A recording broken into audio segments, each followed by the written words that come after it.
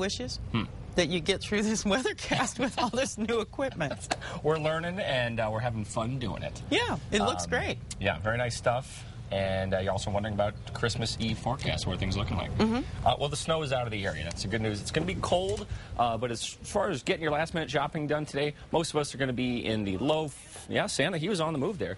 Uh, we're going to be in the low 40s, and then back into Christmas Day, we're going to be in the 40s. Uh, a little chilly out there right now as we take a look at temperatures around the house. Not too bad. A lot of us in the 20s, some of us in the 30s. Roswell, 31 degrees, 33 in Santa Fe. The winds are kicking a little bit, so if you're getting those luminarias ready, you might want to put a little sand in there so you don't get yourself uh, a little mini bonfire. But uh, we've had some decent gusts right now, uh, some teens. That's what we're looking at as far as the wind speeds. But that's kind of on the back end of this storm as we're seeing this thing make its way out of the region. Some clouds hanging on, even some flurries. We may see a couple of flurries, mainly on the eastern side of the state. But for the most part, this storm is out of our hair.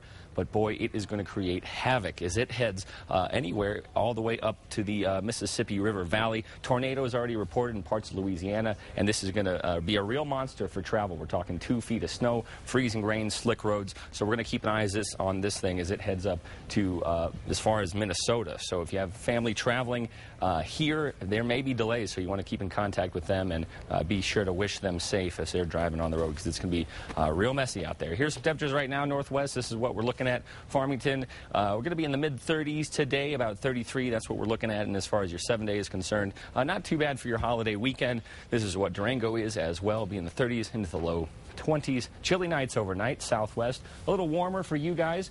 Creeping up into the 40s uh, for most of them. Socorro 45, 16 for your low. Southeast New Mexico, not too bad. We'll be hanging out uh, in the 20s. A lot of us uh, in the teens. So when you wake up to open those presents, it's going to be chilly. And if you have any uh, driving to grandma's house or relatives, uh, the roads should be uh, a lot better than they were the past couple of days. Northeast here is your forecast. Negative four in Mora tonight. A chilly one for Santa as he's hopping on the roofs there. And then up in the northern part of the state, Espanola 34, a low of five. Santa Fe, we're going to have a high of uh, 30 today and then a low of 6. Where is it? Right there. This thing's a little tricky, temperamental sometime. Ah, we'll just get to the next one. Okay, East Mountains, this is what you're looking at. It's going to be uh, 31 Tijeras, low of 6. And in the metro, not too bad. It's going to be a nice Christmas night for you. South Valley 41, 15. That's your low and high. And uh, your seven day Albuquerque, this is what we're looking at. You know, it's not a bad forecast. We're going to keep an eye on another system that's going to make its way into the state by the end of the week.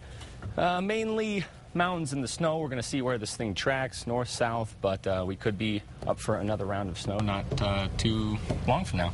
Okay. Yeah. You know, I need to introduce you.